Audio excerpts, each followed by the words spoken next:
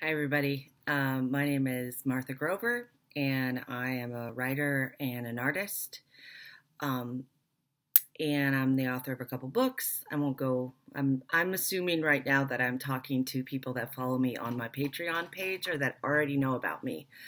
Um, I wanted to make this video today because I want I did a painting last night and it was kind of weird how it happened. And i i thought this would make an interesting video to just talk about like what the process uh, was of making this painting.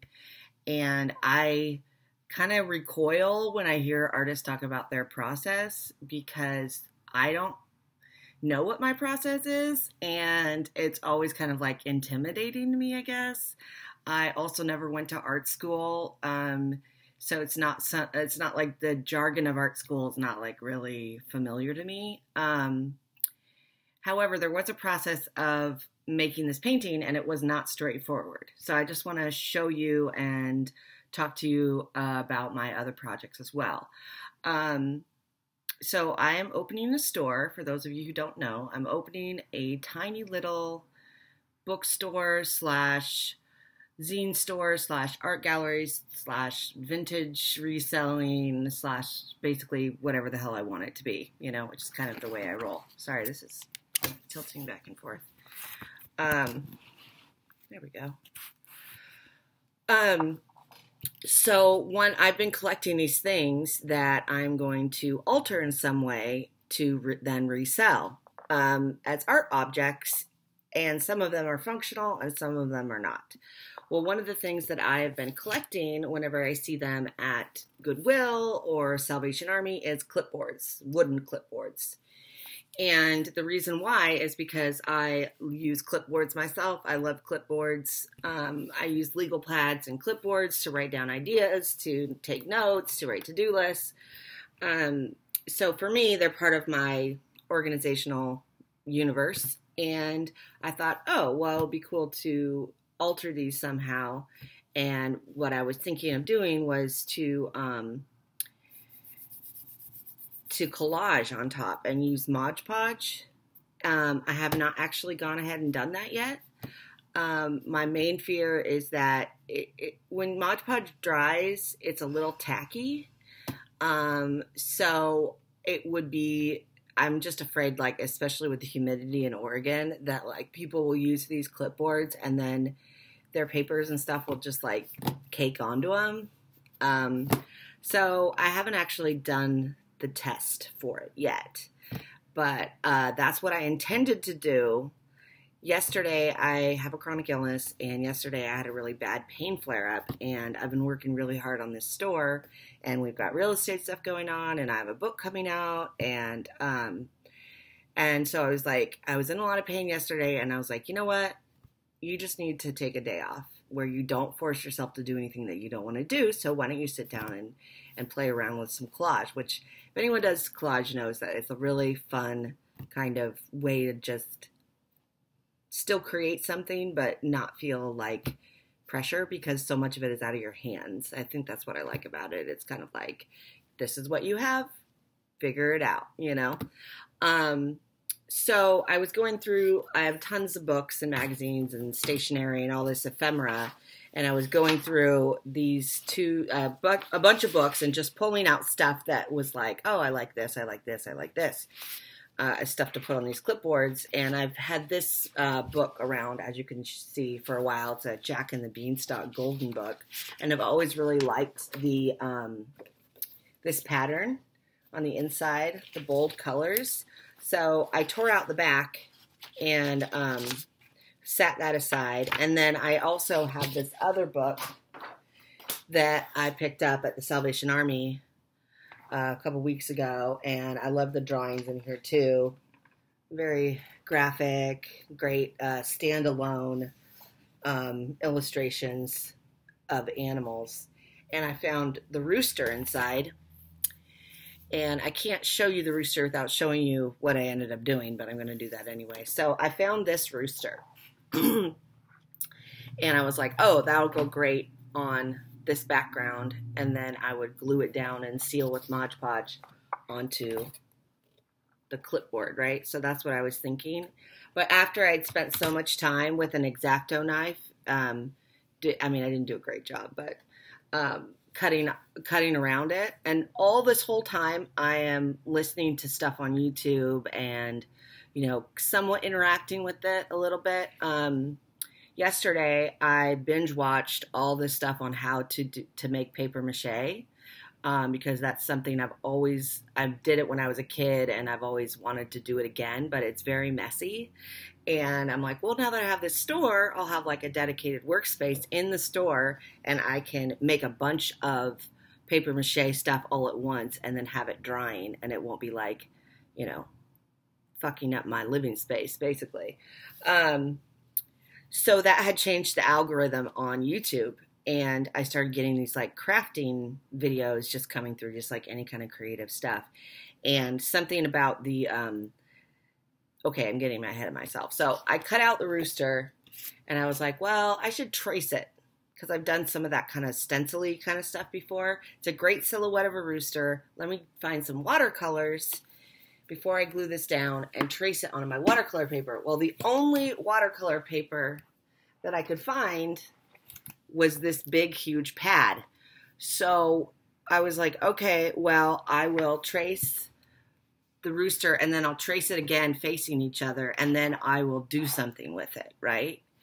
Um, and then when I got the roosters facing each other, like that, it reminded me of psychedelic art because there's so much mirroring in psychedelic art. And so I was staring at these roosters and then I started Googling on YouTube, well, YouTubing, you know, psychedelic art. And I just started watching these videos of like different rock posters from the 60s and, um, and I was staring at these roosters thinking, what am I going to do with these roosters, you know? And then I saw that iconic, and if you know what I'm talking about, you'll know it. But if you don't know it, then look it up. Milton Glaser is his name, is his designer. And he did an iconic poster of Bob Dylan in the 60s that is his profile, and it's black, and then his hair are all these like crazy psychedelic colors, you know? And so I was looking at this rooster, and it's in a profile, and I was like, I'm going to make it like Bob, that Bob Dylan thing. So um, I actually looked it up. I found out who the designer was. Did you know that Milton Glaser actually was also the person that um, designed the "I Love New York" logo, which everything everyone riffs on that, um, and probably my friends that have been to art school are like Milton Glaser. Everyone knows who that is.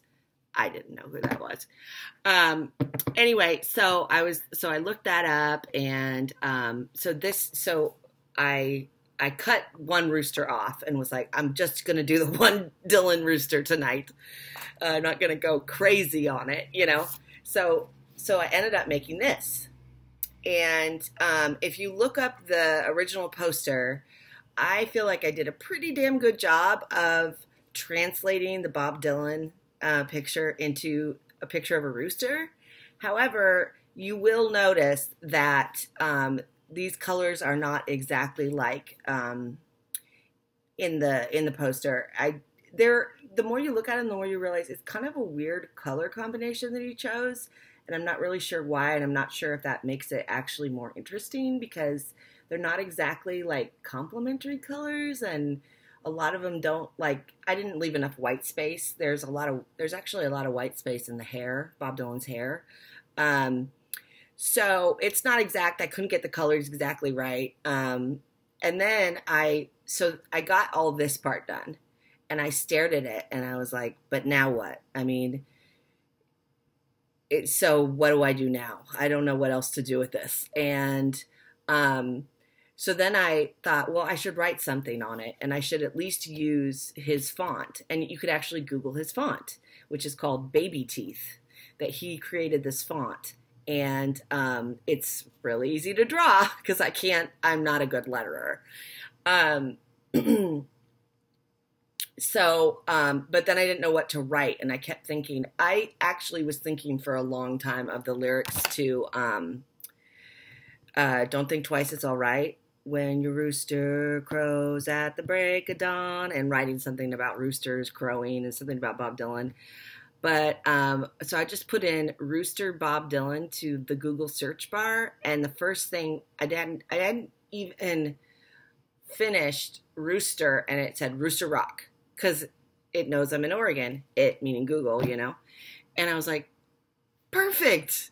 So I went from wanting to do a collage on this to somehow doing this. And I think when you just allow yourself time to create art and don't have any agenda other than that, cool things like that can happen, you know? Um, my practice, my process uh, is a variety of different things. You know, like if I'm a, if I'm writing and I'm writing, um, if I have like a specific piece I'm working on, um, then I have an agenda. You know, and I have like an idea of like how much progress I want to make on that piece. You know, do, am I editing the last half of it? Am I um, just rereading it and familiarizing myself with a piece that I haven't looked at for a really long time. Um, but with art, um, I guess, well, sometimes I have ideas before I start something, but sometimes it's cool to just kind of like see what happens, you know? Um, anyway, so allowing yourself time to just like do open ended things just to relax, I feel like it's really, it's cool when something good actually comes out of it, I guess what I'm trying to say. Uh, I guess I'm out of things to talk about, um, but I just wanted to say thanks to all my patrons and the store. Hopefully, I'll get it open by the end of February. Um, my pain has been really exacerbated by uh, moving boxes around and stuff like that. So um, I'm getting some help from my niece today to put together some furniture um, down there, and uh, just stay tuned um, and I'm, you know, honestly, I really do want to get vaccinated before I open the store all the way up. Uh, but we don't know. I don't know when that's going to happen. So, anyway, bye. Thanks for su- your support, and I will talk to you soon.